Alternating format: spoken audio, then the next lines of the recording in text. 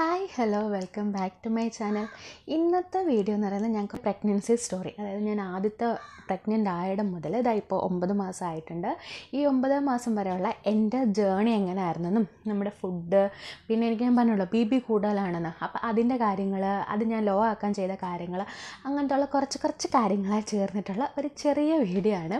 അപ്പോൾ എല്ലാവർക്കും ഇഷ്ടപ്പെടുമെന്ന് ഞാൻ വിചാരിക്കുന്നു. ഇഷ്ടപ്പെട്ടിട്ടുണ്ടെങ്കിൽ എന്താ വേണ്ടത്? മറക്കാതെ ലൈക്ക് ചെയ്യണം. ലൈക്ക് ചെയ്യുന്ന മാത്രമല്ല നമ്മുടെ ചാനൽ ആദ്യമായിട്ടാണ് കാണുന്നുണ്ടെങ്കിൽ സബ്സ്ക്രൈബ് കൂടെ ചെയ്യണം കേട്ടോ. സബ്സ്ക്രൈബ് ചെയ്യുമ്പോൾ തൊട്ടടുത്തായിട്ട് കുഞ്ഞു ബെല്ലൈക്കൺ കൂടെ വരും. അതിൽ ഓൾ എന്നൊരു ഓപ്ഷൻ കൊടുക്കണം. എങ്കിൽ മാത്രമേ ഞാൻ ഫ്യൂച്ചറിൽ വീഡിയോസ് ഇടുമ്പോൾ നിങ്ങൾക്ക് നോട്ടിഫിക്കേഷനായിട്ട് വരുള്ളൂ അപ്പം നമുക്ക് നമ്മുടെ വീഡിയോയിലോട്ട് പോകാം ഇവിടെ നമ്മുടെ ബാക്ക്ഗ്രൗണ്ട് ഒന്നും ശരിയല്ല എന്ന് എല്ലാം റെഡിയാക്കണം ഞാൻ ഞാനൊരു റൂം മേക്ക് ഓവർ ചെയ്യാൻ ആഗ്രഹിക്കുന്നുണ്ട്. പറ്റുന്നുണ്ടെങ്കിൽ ചെയ്യണം. പിന്നെ അപ്പോഴത്തേക്ക് ബാക്ക്ഗ്രൗണ്ടൊക്കെ റെഡി ആവട്ടെ. ഇപ്പം ഞാൻ ഇവിടെ ഒന്നാമത്തെ കാരണം കറണ്ട് ഇല്ല. നമ്മുടെ പവർ കട്ടാണ് രാവിലെ മുതൽ വൈകിട്ട് അഞ്ച് മണി വരെ ഇന്ന് കറണ്ട് കാണില്ല. അപ്പോൾ അതിന്റേതായ ബുദ്ധിമുട്ടും കാര്യങ്ങളെല്ലാം ഉണ്ട്. അപ്പം നമുക്ക് നമ്മുടെ വീഡിയോയിലോട്ട് പോകാം. ഞാൻ എന്റെ കല്യാണം കഴിയുന്നതെന്ന് വെച്ചാൽ രണ്ടായിരത്തി ഇരുപത്തി ഒന്ന് ഓഗസ്റ്റ് ഇരുപത്തിനാലിനായിരുന്നു എന്റെ മാരേജ് കഴിഞ്ഞ് കഴിഞ്ഞിട്ടുള്ളത്. അപ്പം അത് കഴിഞ്ഞ് ഞാൻ പ്രഗ്നന്റ് ആവുന്നതെന്ന് വെച്ചാൽ നവംബർ എന്റെ ലാസ്റ്റ് പീരീഡ് എന്ന് പറയുന്നത് പീരീഡ്സ് ആയിട്ടുള്ളത്. എന്റെ ലാസ്റ്റ് പീരീഡ്സ് ആയിട്ടുള്ളത് നവംബർ രണ്ടിനായിരുന്നു. അത് കഴിഞ്ഞിട്ട് ഞാൻ പ്രിപ്പയർഡ് തന്നെ ആയിരുന്നു കേട്ടോ. അതായത് നമുക്ക് പെട്ടെന്നുണ്ടായത് അങ്ങനെയൊന്നുമല്ല ഞാൻ പ്രിപ്പയർഡ് തന്നെ ആയിരുന്നു അപ്പം ഡിസംബറിലാണ് നമ്മൾ നോക്കിയിട്ട് പോസിറ്റീവാണെന്ന് അറിയുന്നത് പക്ഷേ ആദ്യമൊന്നും പോസിറ്റീവാണെന്ന് അറിയുന്ന നമ്മൾ പോസിറ്റീവ് ആണോ നോക്കാൻ വേണ്ടി നമ്മൾ കാർഡ് വാങ്ങി നോക്കുമല്ലോ ഞാൻ കാർഡാണ് കേട്ടോ വാങ്ങി നോക്കിയത്. അപ്പോൾ കാർഡ് വാങ്ങി നോക്കി നെഗറ്റീവ് ആയിരുന്നു. പിന്നെ രണ്ടാമത് കുറച്ച് ദിവസം കഴിഞ്ഞപ്പോൾ പിന്നെയും കാർഡ് വാങ്ങി നോക്കി നെഗറ്റീവ് മൂന്നാമത്തെ നമ്മുടെ അടുത്തുള്ള ഹെൽത്ത് ഉണ്ടല്ലോ. ഹെൽത്ത് ആരോഗ്യ എന്താ അതിന് പറയുക നമ്മുടെ ഹെൽത്തില്ലേ അടുത്തൊക്കെ ഉള്ള? അവിടെ പോയിട്ട് അവിടെ പോയി ടെസ്റ്റ് ചെയ്തു. അവിടെ നോക്കിയപ്പോഴും നെഗറ്റീവ് ഞാൻ ഭയങ്കരമായിട്ടും വിഷമിച്ചു. കാരണം നമ്മൾ പ്രിപ്പയർഡ് ആണല്ലോ. അപ്പം ഈ മൂന്ന് നോക്കി അത് മാത്രമല്ല എനിക്ക് പീരീഡ്സ് ആയിട്ടുണ്ടായിരുന്നില്ല. അങ്ങനെ മൂന്ന് വട്ടം നോക്കിയപ്പോഴത്തേക്ക് നെഗറ്റീവ് അങ്ങനെ ഞാൻ പിന്നെ ഹെൽത്തിൽ നിന്ന് വീട്ടിൽ വന്നു. അത് കഴിഞ്ഞിട്ട് പിന്നെ കുറച്ച് ദിവസം കൂടെ കഴിഞ്ഞ് ഒരു ദിവസം രാവിലെ കാർഡ് വാങ്ങിച്ച് നോക്കി. നോക്കിയപ്പോഴത്തേക്ക് എനിക്ക് പ്രതീക്ഷയില്ല. കാരണം നമ്മൾ ഹെൽത്തിൽ പോയി നോക്കിയിട്ട് നെഗറ്റീവ് ആയിരുന്നു. പിന്നെ എന്താണ് ആവാത്തത്? ആ ഒരു ഇതൊക്കെ ആയിരുന്നതുകൊണ്ട് എനിക്ക് വലിയ പ്രതീക്ഷയൊന്നുമില്ലായിരുന്നു. ഞാനങ്ങനെ കാർഡ് കാർഡ് വാങ്ങിച്ച് നോക്കി. ഞാനത് അവിടെ മേശപ്പുറത്ത് വെച്ചിട്ട് ഞാനങ്ങ് മുറിയിൽ പോയി. എന്നിട്ട് അമ്മ കുറച്ച് കഴിഞ്ഞ് അമ്മ നോക്കിയപ്പം ഇങ്ങനെ ഒരു വര തെളിഞ്ഞിട്ട് രണ്ടാമത്തെ വര ചെറുതായിട്ടിങ്ങനെ നല്ല പോലെ തെളിയാതെ ചെറിയൊരു വര പോലെ വന്നു. അപ്പോൾ അമ്മ പറഞ്ഞു ഇതാ രണ്ട് വര വന്നു എന്ന് പറഞ്ഞു. ഞാനങ്ങനെ പെട്ടെന്ന് നിന്ന് നോക്കിയ നോക്കിയപ്പോഴത്തേക്ക് രണ്ട് വരയൊക്കെ തെളിഞ്ഞു. അപ്പം എന്താ ഭയങ്കര സന്തോഷമായിരുന്നു പറഞ്ഞറിയിക്കാൻ പറ്റാത്തത്ര സന്തോഷമായിരുന്നു അങ്ങനെ പിന്നെ ഞാൻ ഞങ്ങൾ അപ്പം എനിക്കിത് കൺഫേം ഇല്ലായിരുന്നു. കാരണം ചെറിയൊരു വര ഉണ്ടെന്നുള്ളൂ. നേർത്ത് ചെറിയൊരു വര. അപ്പോൾ രണ്ടാമത്തെ വര രണ്ട് നല്ലപോലെ തെളിഞ്ഞ് കണ്ടേ. അപ്പോൾ അതുകൊണ്ട് എനിക്ക് അത്ര ഉറപ്പില്ലായിരുന്നു. അതുകൊണ്ട് നമ്മൾ അടുത്തുള്ള ഞാൻ പറഞ്ഞിട്ടില്ല ഗവൺമെന്റ് ഹോസ്പിറ്റൽ വിക്ടോറിയ അവിടെ പോയിട്ട് ഡോക്ടറിനോട് പറഞ്ഞു. അപ്പം ഞാൻ ഇങ്ങനെ പറഞ്ഞു.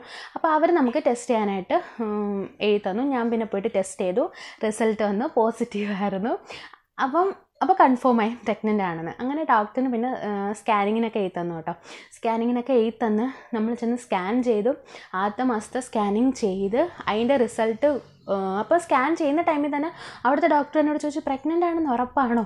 അയ്യോ അപ്പം അപ്പോൾ എന്താണെന്നറിയാൻ കാരണം നമ്മൾ സംശയിച്ച് ചെന്ന് ടെസ്റ്റ് ചെയ്തപ്പോൾ അവിടെ പോസിറ്റീവ് സ്കാൻ ചെയ്യാൻ നേരം അവിടുത്തെ ഡോക്ടറിനോട് ചോദിക്കുന്നത് പ്രഗ്നന്റ് ആണെന്ന് ഉറപ്പ് തന്നെയാണോ എന്ന്. അപ്പം ഞാൻ പറഞ്ഞാൽ അതെ ഹോസ്പിറ്റലിൽ ചെക്ക് ചെയ്തപ്പോൾ ആണെന്നാണ് പറഞ്ഞത്. അപ്പോൾ അവർ പറഞ്ഞ് അല്ല നമ്മുടെ കുഞ്ഞിന്റെ രൂപം ആയിട്ടില്ല. ഇത് അതിനുള്ള സിംറ്റംസ് ഒന്നും സ്കാനിങ്ങിലും കാണുന്നില്ല എന്ന് പറഞ്ഞു. എനിക്കിപ്പോൾ ഭയങ്കര സങ്കടമായി. അപ്പോൾ അവർ അപ്പോൾ അവിടുത്തെ ഡോക്ടർ പറഞ്ഞു വിഷമിക്കണ്ട നമുക്ക് ചിലപ്പോൾ ഒന്നും കൂടെ ചെയ്യേണ്ടി വരും സ്കാനിങ് അല്ലാതെ അത് ഓർത്ത് വിഷമിക്കേണ്ട എന്ന് പറഞ്ഞു. ഞാനങ്ങനെ ആ റിപ്പോർട്ടൊക്കെ വാങ്ങിച്ചിട്ട് ഡോക്ടറിനെ കൊണ്ട് കാണിച്ചു. ഡോക്ടറിനെ കൊണ്ട് കാണിച്ചപ്പോൾ ഡോക്ടർ പറഞ്ഞു ഇത് തുടക്കമായിട്ടേ ഉള്ളൂ. നമുക്ക് വെയിറ്റ് ചെയ്യാം. ഒരു രണ്ടാഴ്ചയും കൂടെ കഴിഞ്ഞിട്ട് ഒന്നും കൂടെ സ്കാൻ ചെയ്യേണ്ടി വരും. അപ്പോൾ നമുക്ക് വെയിറ്റ് ചെയ്യാമെന്ന് പറഞ്ഞു. ഞാനങ്ങനെ അപ്പോൾ എനിക്ക് ഗുളികയൊക്കെ കഴിത്തന്നു കേട്ടോ. അപ്പോൾ ഞാൻ ഗുളികയൊക്കെ കഴിച്ച് നല്ലപോലെ ശ്രദ്ധിച്ച് ഒരു രണ്ടാഴ്ചയൊക്കെ കഴിഞ്ഞപ്പോൾ പിന്നെ സ്കാൻ ചെയ്യാൻ പോയി. സ്കാൻ ചെയ്യാൻ പോയപ്പോഴത്തേക്ക് ഓക്കെ നമ്മുടെ കുഞ്ഞിന്റെ ഹൃദയമെടുപ്പൊക്കെ തുടങ്ങി കുഞ്ഞായി വരുന്നുണ്ടെന്നൊക്കെ അവിടുത്തെ സ്കാനിങ് സെന്ററിൽ തന്നെ ഡോക്ടർ പറഞ്ഞു. അങ്ങനെ പിന്നെ ഞാൻ ആ റിസൾട്ട് കൊണ്ടുവന്ന് ഡോക്ടർ നമ്മുടെ മെയിൻ ഡോക്ടറിനെ കാണിച്ചു. ഡോക്ടറും പറഞ്ഞു കുഴപ്പമില്ല. താമസിച്ചുള്ള കുട്ടിക്ക് താമസിച്ചുള്ള ജനനമാണ്.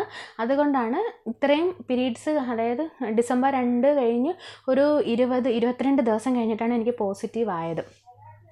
അപ്പോൾ അത്രയും താമസിച്ചതിന്റെ കാരണം കുട്ടിയുടെ താമസിച്ചുള്ള ജനനമാണെന്ന് പറഞ്ഞു. പിന്നെ ഇത് നമ്മൾ ആദ്യത്തെ സ്കാനിങ്ങിലും കുട്ടി ആയിട്ടുണ്ടായിരുന്നില്ലല്ലോ അതൊക്കെ പറഞ്ഞു. അപ്പം ഞാൻ ഹാപ്പിയായി.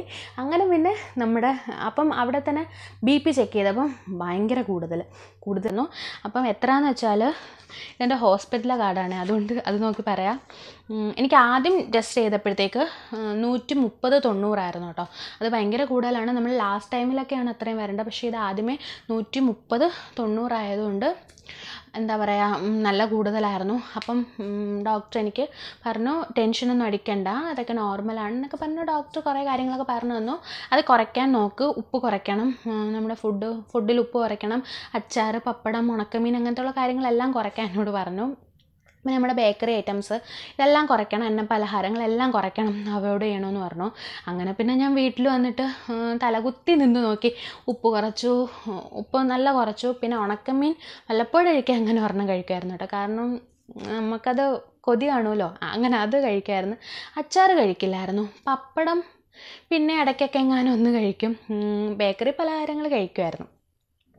പക്ഷെ എന്നിട്ടും കുറയുന്നുണ്ടായിരുന്നില്ല ബി പി അങ്ങനെ കുറച്ച് മാസം അതായത് പിന്നെ നമുക്ക് സ്കാനിങ്ങിലൊന്നും ഒരു കുഴപ്പം ഉണ്ടായിരുന്നില്ല.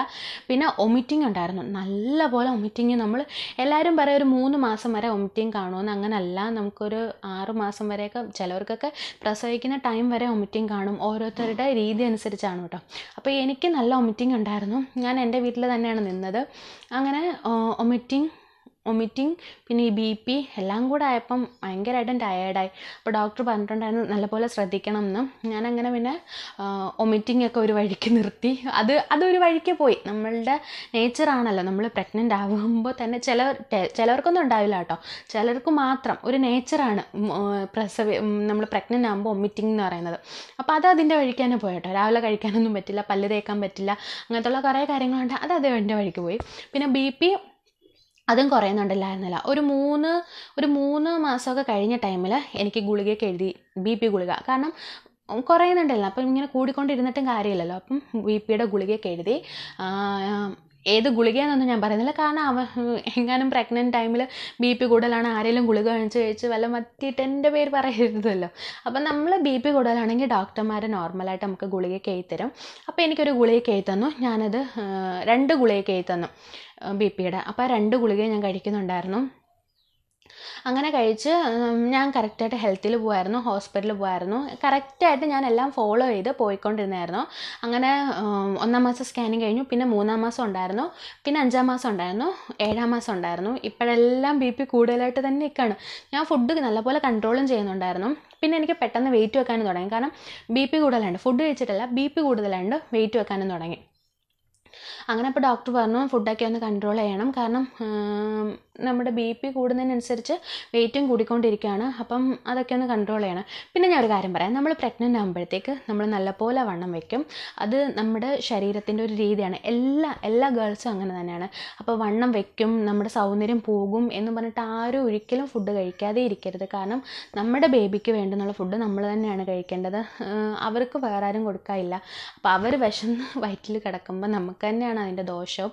അതുകൊണ്ട് കറക്റ്റായിട്ട് ഫുഡ് കഴിക്കുക.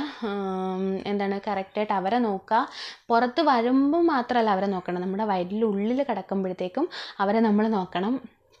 അപ്പോൾ കറക്റ്റായിട്ട് ഫുഡ് കഴിക്കുക വണ്ണം വെക്കുന്നെങ്കിൽ വെച്ചോട്ടെ.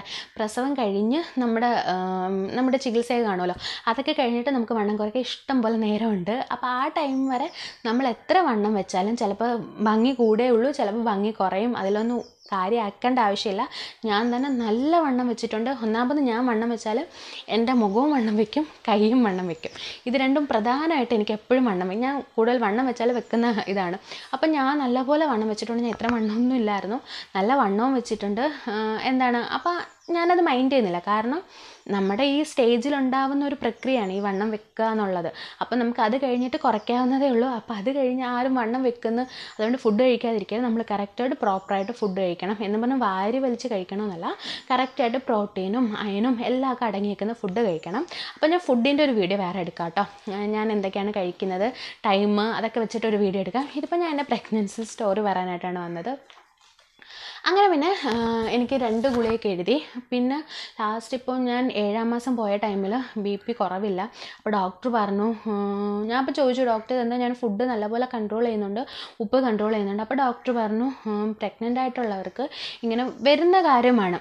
അതായത് ബി പി നമ്മൾ ഫുഡിന്റെ കാര്യം കൊണ്ടല്ല നമ്മളെ രക്തധമനിയിൽ ഉണ്ടാകുന്ന മാറ്റം കൊണ്ട് ഉണ്ടാകുന്ന ചില മാറ്റങ്ങൾ കൊണ്ടുണ്ടാകുന്നതാണ് നമ്മൾ ഈ B P high blood pressure അപ്പം അതുണ്ടാവുന്നതെന്ന് പറയുന്നത് അപ്പം നമ്മൾ അതിനെ ആലോചിച്ച് ടെൻഷൻ അടിക്കേണ്ട കാര്യമില്ല. അയ്യോ എനിക്ക് ബി പി കൂടുതലാണ് ഇനിയിപ്പോൾ എന്താ ചെയ്യാന്ന് പറഞ്ഞാൽ അതിനെ ആലോചിച്ച് ടെൻഷൻ അടിക്കേണ്ട കാര്യമില്ല. അത് വന്ന വന്ന വഴിക്ക് പൊക്കോളും. നമ്മൾ ഒന്ന് ശ്രദ്ധിക്കണം നമ്മൾ കെയർ ചെയ്യണം. കാരണം നമ്മുടെ ബേബിക്ക് നമുക്കും ആപത്ത് തന്നെയാണ് ബി പി കൂടുതലെന്ന് പറഞ്ഞാൽ അതിനെ നിസ്സാരമാക്കി കളയാനല്ല ഞാൻ പറയുന്നത് നമ്മൾ അതിനെ നല്ലപോലെ കൺട്രോൾ ചെയ്യാൻ വേണം നമ്മൾ സൂക്ഷിക്കാൻ വേണം അതിനെക്കുറിച്ചുള്ള ചിന്ത വേണം എന്നും പറഞ്ഞാൽ എല്ലാം മറന്ന് എല്ലാം വാരി വലിച്ച് തിന്നാൻ നല്ലതാണ് ഇതായ നല്ലപോലെ ഉപ്പ് കൺട്രോൾ ചെയ്യണം ഉണക്കമീൻ പപ്പടം അച്ചാർ ഇങ്ങനത്തെ കാര്യങ്ങളെല്ലാം നല്ലപോലെ കൺട്രോൾ ചെയ്തേ പറ്റുള്ളൂ. നമുക്ക് ഒത്തിരി ആഗ്രഹങ്ങളാണ് എനിക്ക് ഉണക്കമീനൊക്കെ തന്നെ ഇഷ്ടം പോലെ ആഗ്രഹം ഉണ്ടായിരുന്നു.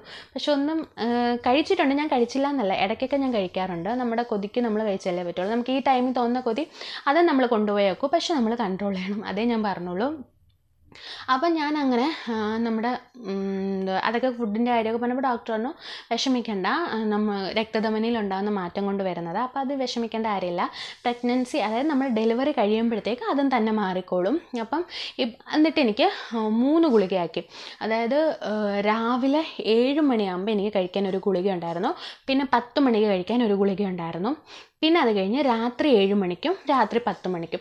അങ്ങനെ അതായത് നമ്മുടെ അയണും കാൽസ്യം ഗുളിക നമ്മൾ നോർമലായിട്ട് കഴിക്കുമല്ലോ പ്രഗ്നന്റ് ടൈമിൽ ഇതിന്റെ പുറമെയാണ് എനിക്ക് അല്ലാതെ ഗുളികകൾ ഇങ്ങനെ തന്നത്. ഒരു എട്ട് മാസം ഒമ്പത് മാസം സ്റ്റാർട്ട് ചെയ്യുന്നത് വരെ വേറൊരു ഗുളിക ഉണ്ടായിരുന്നു. രാത്രി മൂന്ന് ബി പിയുടെ ഗുളിക കഴിക്കാനുണ്ടായിരുന്നു. പത്ത് മണിക്ക് രണ്ടെണ്ണവും ഏഴ് മണിക്ക് ഒരെണ്ണം. പിന്നെ ഒമ്പതാം മാസമായപ്പം പിന്നെ അത് ഗുളിക കഴിച്ചുകൂടാ. നമ്മുടെ ബേബിക്ക് ദോഷമാണ് അപ്പം അത് സ്റ്റോപ്പ് ചെയ്തിട്ട് ബാക്കി ഇത്രയും കഴിച്ച് തന്നെ പൊയ്ക്കൊണ്ടിരുന്നു. അപ്പം എന്താ ബി പി കൂടുതലായതുകൊണ്ട് എന്റെ ചേച്ചിക്ക് ബി പി കൂടുതലായിരുന്നു. അവൾക്ക് പക്ഷേ ചേച്ചിക്ക് എന്ന് വെച്ചാൽ ആദ്യം പ്രഗ്നന്റ് ആയ ടൈമിൽ ബി പി നല്ല കൂടുതലായിരുന്നു. പിന്നെ കുറച്ച് ഗുളിക കഴിച്ചപ്പോഴത്തേക്ക് അതങ്ങ് മാറി. പിന്നെ ചേച്ചി കഴിക്കുന്നുണ്ടോന്നും ഉണ്ടായിരുന്നില്ല. ലാസ്റ്റ് നമ്മുടെ ഡെലിവറി ടൈം അടുത്ത ടൈമിൽ ബി പി കൂടി. അങ്ങനെ സിസേറിയൻ ആയിരുന്നു. പക്ഷേ എനിക്കെന്ന് വെച്ചാൽ ആദ്യം മുതൽക്ക് ഇതുവരെയും കുറഞ്ഞിട്ടേ ഇല്ല. നമ്മൾ ഗുളിക കഴിച്ചുകൊണ്ടേ ഇരിക്കുകയാണ് ഞാൻ ഗുളിക സ്റ്റോപ്പ് ചെയ്തിട്ടേ ഇല്ല. ഇതുവരെയും കഴിച്ചുകൊണ്ടിരിക്കുകയാണ് അപ്പം ബ്ലഡിനൊക്കെ ആളിനെ കണ്ടുപിടിക്കണം. പിന്നെ അങ്ങനത്തെ കുറേ കാര്യങ്ങളുണ്ട്. അപ്പം ഡോക്ടർ തന്നെ എന്നോട് പറഞ്ഞു പേടിക്കേണ്ട കാര്യമില്ല. നമുക്കത് നോർമലായിട്ട് തന്നെ ഒരു പ്രൊസീജിയറാണ് നമ്മുടെ ഡെലിവറി ടൈമിലുള്ളത് അപ്പോൾ അതിനെക്കുറിച്ച് ബോധേഡ് ആവേണ്ട കാര്യമില്ലെന്ന് ഡോക്ടർ പറഞ്ഞിട്ടുണ്ട്. അങ്ങനെ പിന്നെ ഞാൻ ആ ഒരു ഇതിലിരിക്കുകയാണ് അപ്പോൾ ചിലപ്പോൾ നോർമൽ ഡെലിവറി നടത്തില്ല. ഞാൻ കഴിഞ്ഞ ബാഗ് പാക്കിങ്ങിന്റെ ടൈമിൽ ഞാൻ പറഞ്ഞിട്ടുണ്ടായിരുന്നല്ലോ. എനിക്ക് ഡേറ്റ് വന്നേക്കുന്നത് ഓഗസ്റ്റിലാണ്. അതായത് നമ്മുടെ ഏഴാം മാസത്തെ സ്കാനിങ് റിപ്പോർട്ടിൽ ഓഗസ്റ്റാണ് എനിക്ക് ഡേറ്റ് വന്നേക്കുന്നത്. പക്ഷേ ആ ടൈം വരെ പോകില്ല എന്നാണ് ഒരു വിശ്വാസം. അതിന് മുമ്പിട്ട് എന്തായാലും കാണും. എന്തായാലും ഇനിയിപ്പോൾ ഒമ്പതാം മാസത്തിലെ ഒരു സ്കാനിങ് ഉണ്ട്. ആ സ്കാനിങ് ടൈമിൽ നമ്മുടെ ഡെലിവറി ടൈം കൃത്യമായിട്ട് അറിയാം. അപ്പോഴത്തേക്ക് കറക്റ്റായിട്ട് വരുമല്ലോ. ഏഴാം മാസത്തേക്കാളും മുൻപിലോട്ടോ പിൻപിലോട്ടോ എന്താണെന്ന് വെച്ചാൽ അതുവരെ വരും. അപ്പം ഈ ഏഴാം മാസത്തെ സ്കാനിങ് വരെ ബേബിക്കോ എനിക്കോ ഒന്നും ഒരു കുഴപ്പമില്ല. വെയിറ്റ് എല്ലാം പക്കയാണ്. എല്ലാ കാര്യങ്ങൾക്കും കുഴപ്പമാണ്. ആകെ ഉണ്ടാകുന്ന വെച്ചാൽ ഈ ബി പി കൂടുതലാണ്. ആ ഒരു പ്രോബ്ലം മാത്രമേ ഉള്ളൂ. വേറെ ഒരു പ്രശ്നങ്ങളും ഇല്ല. നല്ലപോലെ ഇരിക്കുന്നു. ഇങ്ങനെ അനക്കം തുടങ്ങിയെന്ന് വെച്ചാൽ എല്ലാ എന്റെ എന്റെ ഫ്രണ്ട്സിനൊക്കെ ഒരു അഞ്ച് മാസമൊക്കെ സ്റ്റാർട്ട് ചെയ്തപ്പോഴേ അവർക്ക് അനങ്ങാൻ തുടങ്ങി. പക്ഷേ എനിക്ക് അങ്ങനെയല്ല കേട്ടോ. എനിക്കൊരു ഒരു ആറര മാസമൊക്കെ ആയ ടൈമിലാണ് ഞാൻ അനക്കം അറിഞ്ഞു തുടങ്ങിയത്. ചിലപ്പോൾ എനിക്ക് അറിഞ്ഞുകൂടാത്തത് കൊണ്ടായിരിക്കും. കുഞ്ഞ് അനങ്ങുന്നത് അറിഞ്ഞുകൂടാത്തത് കൊണ്ടായിരിക്കും. പക്ഷേ എനിക്കൊരു ആറര മാസമൊക്കെ ആയ ടൈമിലാണ് ഞാൻ കുഞ്ഞിന്റെ അനക്കം അറിയാൻ തുടങ്ങിയത്. ഇപ്പം ഇപ്പം നല്ലപോലെ അനങ്ങുന്നുണ്ട്. ഇപ്പം നല്ലപോലെ ചവിട്ടാനൊക്കെ തുടങ്ങിയിട്ടുണ്ട്. പക്ഷെ ആദ്യത്തെ ആ ഒരു ടൈമിൽ ചെറിയ ഇങ്ങനെ എന്താണ് പുഴു പുഴു ഇങ്ങനെ ആവില്ല? അതേപോലെ ഒരു ഫീലിംഗ് ആണ് ആദ്യം നമുക്ക് തോന്നുന്നത്. പിന്നെ അത് കഴിഞ്ഞിട്ടാണ് പതിയെ പതിയെ ഇങ്ങനെ ഇങ്ങനെ ആകുന്ന പോലെ നമ്മുടെ വയറ് ഇക്കിളി ആകുന്ന പോലെയൊക്കെ നമുക്ക് തോന്നും. ഇപ്പോഴത്തേക്ക് കറക്റ്റ് ആയിട്ടുണ്ട്. ഇപ്പം കറക്റ്റ് ചവിട്ടാനും ഇടിക്കാനൊക്കെ തുടങ്ങിയിട്ടുണ്ട്. അതൊക്കെ അറിയ അറി നല്ലപോലെ അറിയുന്നുണ്ട്. ആ ഒരു എന്താണ് ഇപ്പം ഇനിയിപ്പോൾ കുറച്ച് ദിവസം കൂടെ അല്ലേ നമുക്ക് ഇതൊക്കെ ഈ ഒരു ഫീലിങ്സ് അറിയാൻ പറ്റുള്ളൂ. നമ്മുടെ ഡെലിവറി കഴിഞ്ഞ് കഴിഞ്ഞാൽ പിന്നെ ഇതൊന്നും നമുക്ക് അറിയാൻ പറ്റില്ല. കാരണം നമ്മുടെ കുഞ്ഞ് പുറത്ത് വന്ന് നമ്മുടെ വയറ്റിൽ വയറ്റിലുണ്ടായിരുന്നു നമ്മൾ സംസാരിക്കുന്നത് പാട്ട് പാടുന്നത് അവരായിട്ട് സംസാരിക്കുന്ന ആ ഒരു ആ ഒരു ഫീലിങ്സ് ഒക്കെ ആ ഒരു കണക്ഷൻ ഉണ്ടല്ലോ. ആ ഒരു കണക്ഷൻ പുറത്ത് വന്ന് കഴിയുമ്പോൾ മാറും. പിന്നെ നമുക്ക് നമ്മുടെ കുഞ്ഞിനെ നേരിട്ട് കാണാം. അപ്പം അതുവരെയുള്ള ടൈമിൽ എനിക്ക് എല്ലാവരോടും പറയാനുള്ള വെച്ചാൽ നല്ലപോലെ ആസ്വദിക്കുക പിന്നെ വിഷമിക്കാതിരിക്കുക ടെൻഷൻ അടിക്കാതിരിക്കുക എല്ലാവരുടെയും ജീവിതത്തിൽ ഉണ്ടാകുന്ന ഒരു എന്താണ് ഒരു വഴിയാണ് ഈ പ്രഗ്നൻസി എന്ന് പറയുന്നത്. അപ്പം അത് നല്ല ആ ഒരു പീരീഡ് നല്ലപോലെ ആസ്വദിക്കുക.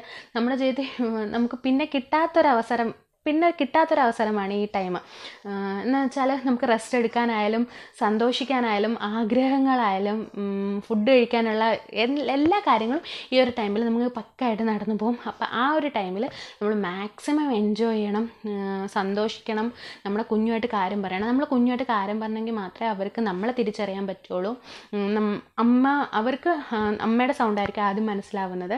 അപ്പം നമ്മൾ അവരോട് സംസാരിക്കുക അവർക്ക് പാട്ടുപാടി കൊടുക്കുക എല്ലാ കാര്യങ്ങളും നമ്മൾ അവരോട് സംസാരിക്കുക അവർ ഒറ്റയ്ക്കല്ല എന്നുള്ള ഫീലിങ്സ് നമ്മൾ അവർക്ക് കൊണ്ടു അവർക്ക് വരുത്തണം. ആ ഒരു ഇതൊക്കെയാണ് എനിക്ക് പറയാനുള്ളത്. അപ്പം ഞാനതൊക്കെ ചെയ്യാറുണ്ട് കേട്ടോ. ഞാനതൊക്കെ ചെയ്യുമ്പോൾ അതായത് ഞാൻ എന്തെങ്കിലുമൊക്കെ ചോദിക്കുന്ന ടൈമിൽ കുഞ്ഞനങ്ങാറുണ്ട്. അതൊക്കെ എനിക്കൊരു സന്തോഷമാണ് അങ്ങനെയൊക്കെ.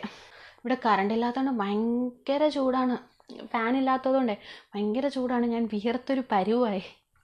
പിന്നെ അത് മാത്രമല്ല ഫോണിൽ ചാർജുമില്ല ഞാൻ എന്തായാലും വെറുതെ എന്ന് പറഞ്ഞിട്ടൊരു വീഡിയോ എടുക്കാമെന്ന് പറഞ്ഞിട്ട് എടുത്താണ്. ഞാൻ കുറേ കാലം കൊണ്ട് വിചാരിക്കുന്നു എന്റെ ഡെലിവറി പ്രഗ്നൻസി ടൈം എങ്ങനെയായിരുന്നു എന്നുള്ളത് നിങ്ങളായിട്ട്. ഭയങ്കര ഇതൊന്നുമല്ല നോർമലായിട്ടുള്ളതേ ഉള്ളൂ. പിന്നെ എനിക്ക് ഈ ബി പി കൂടുതലായതുകൊണ്ട് അങ്ങനത്തെ ഞാൻ പക്ഷെ യൂട്യൂബിൽ കുറേ സെർച്ച് ചെയ്തിട്ടുണ്ട് കേട്ടോ. ഈ ബി പി കൂടുതലായിട്ടുള്ളവരുടെ അനുഭവങ്ങൾ എങ്ങനെയാണെന്നും അവരുടെ എക്സ്പീരിയൻസ് എങ്ങനെയാണെന്നൊക്കെ പറയുന്നത്. പക്ഷെ ആരെയും ഞാൻ ഒരു വീഡിയോ പോലും കണ്ടിട്ടില്ല.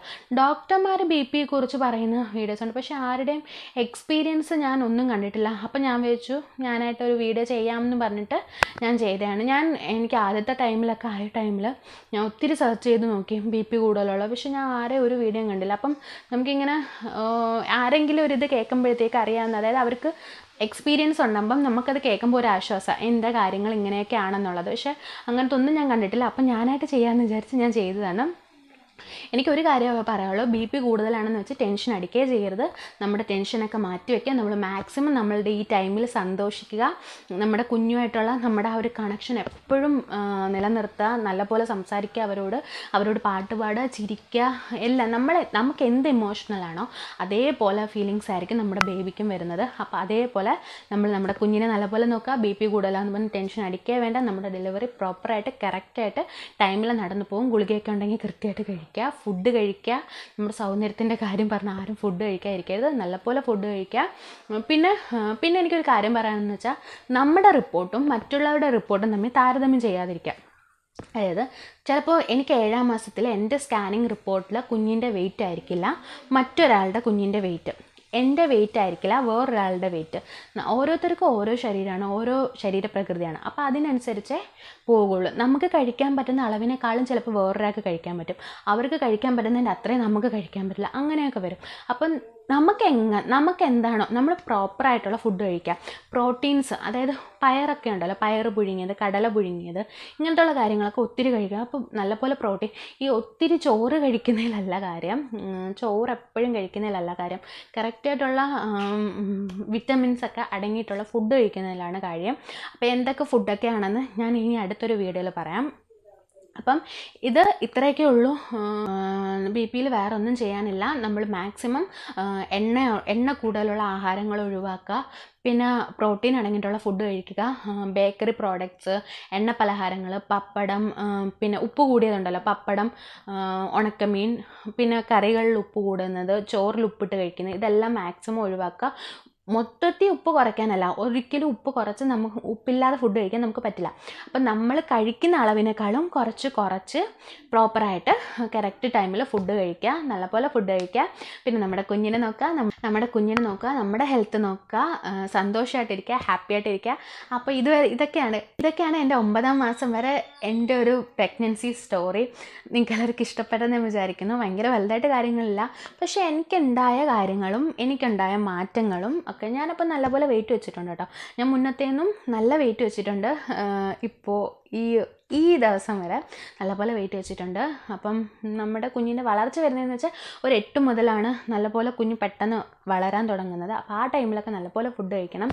പ്രഗ്നൻസി ഇത്രയും മന്തിൽ ഒരു എന്താണ് ഞാൻ വന്നിട്ടുള്ള വഴികളൊക്കെ അപ്പം എല്ലാവർക്കും ഇഷ്ടപ്പെട്ടെന്ന് വിചാരിക്കുന്നു.